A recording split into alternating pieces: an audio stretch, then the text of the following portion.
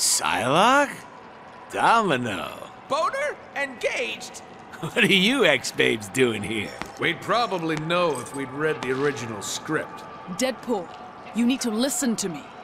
Mr. Sinister has taken over Chance Hard White to Settlement. believe we used to date her. Why'd you dump her? She's hot.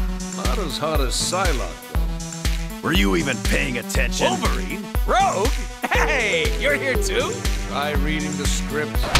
Like the girl said, we gotta go to Genosha if we're gonna stop Mr. Sinister from. Wait, Genosha the island? Hey, we'll have to fly there. Are we taking the Blackbird? Oh, I always wanted to fly the Blackbird. No goddamn way.